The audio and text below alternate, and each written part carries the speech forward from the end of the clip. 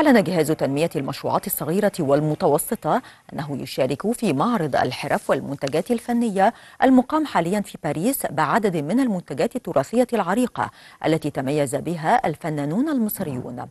تهدف مشاركة جهاز تنمية المشروعات إلى الترويج للحرف اليدوية والتراثية المصرية بالأسواق الأوروبية.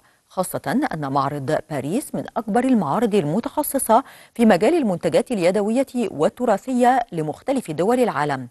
كما يسعى جهاز تنمية المشروعات إلى فتح أسواق جديدة لأصحاب مشروعات الحرف اليدوية والتراثية والعمل على زيادة الصادرات من هذا القطاع إلى السوق الفرنسي والأوروبية.